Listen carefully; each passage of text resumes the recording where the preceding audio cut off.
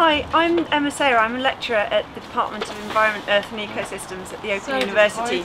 And I'm part of a team of young researchers and students who are um, celebrating the 100th birthday of the British Ecological Society by taking ecology to music festivals this summer. We're going to show people the wonders of wildflower meadows. We're going to show them a little bit about pollinators. We have a live bumblebee colony so people can try and spot the queen.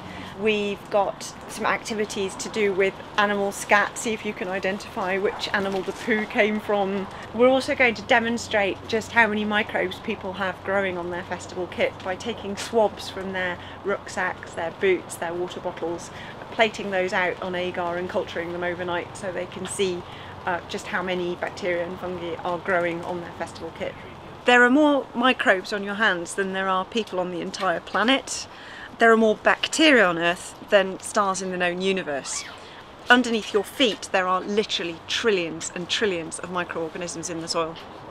We're also encouraging people to bring us bugs and plants that they found around the festival site and we'll help them identify them and they can then be uploaded onto a website so people can actually see their species um, finds later on.